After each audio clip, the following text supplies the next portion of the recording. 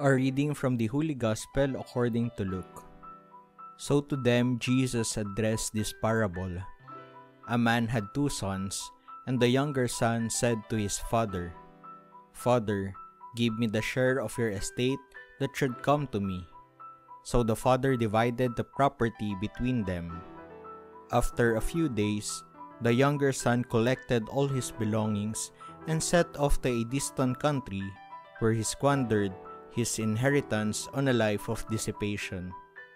When he had freely spent everything, a severe famine struck that country, and he found himself in dire need. Coming to his senses, he thought, How many of my father's hard workers have more than enough food to eat, but here am I, dying of hunger. I shall get up and go to my father, and I shall say to him, Father, I have sinned against heaven and against you. I no longer deserve to be called your son. Treat me as you would treat one of your hard workers. So he got up and went back to his father. While he was still a long way off, his father caught sight of him and was filled with compassion.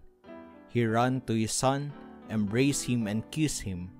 His son said to him, Father, I have sinned against heaven and against you.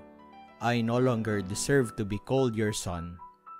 But his father ordered his servants, Quickly bring the finest robe and put it on him. Put a ring on his finger and sandals on his feet.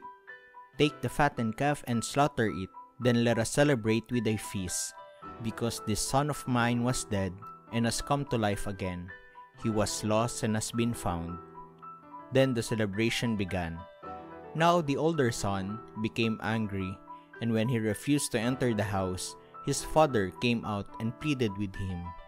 He said to his father in reply, Look, all these years I serve you, and not once did I disobey your orders, yet you never gave me even a young goat to feast on with my friends. But when your son returns you swallowed up your property with prostitutes, for him you slaughtered a fattened calf. He said to him, My son, you are here with me always. Everything I have is yours. But now we must celebrate and rejoice, because your brother was dead and has come to life again. He was lost and has been found.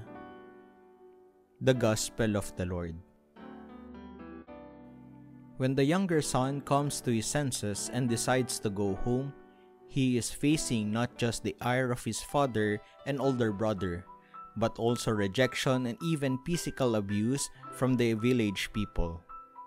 What the father does in receiving him is intended to protect him from harm.